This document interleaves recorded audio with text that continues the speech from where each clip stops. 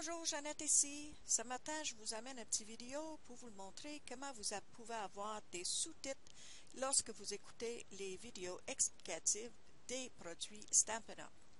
Donc, euh, dans un premier temps, vous allez avoir euh, ce petit onglet-là, Settings, ou dans votre cas, ça serait Paramètres. Vous allez cliquer sur Sous-titres. Dans mon cas, c'est Subtitles. Vous allez cliquer sur la flèche. Vous allez choisir French ou français. Et voilà, le tour est joué. Cliquez en dehors de la boîte pour la faire disparaître. Et vous pouvez avoir que Brandy a des affaires très intéressées à vous expliquer.